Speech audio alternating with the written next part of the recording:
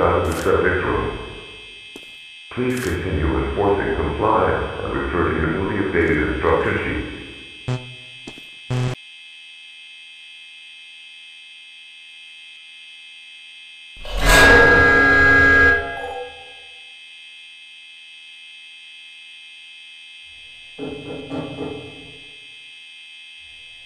Thank you.